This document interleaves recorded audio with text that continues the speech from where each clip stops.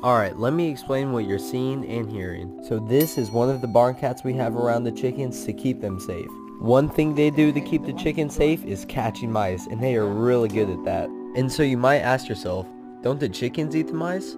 Well, they do, but the cats are just way more alert and they are awake at night. I cannot believe you just got that mouse. Good, good job. And so keeping cats around your chicken coop and chicken run will not only make your chickens much safer, but will also keep them looking very healthy and nice.